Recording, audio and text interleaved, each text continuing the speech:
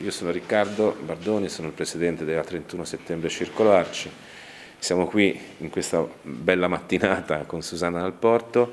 Abbiamo fatto una donazione alla biblioteca di un libro molto interessante e sarà una delle tante eh, donazioni che, che avrete e comunque attraverso le nostre pagine, i nostri canali daremo spazio alla biblioteca. Ti ringrazio. Grazie. Buona giornata. Buona giornata. Ciao. Arrivederci.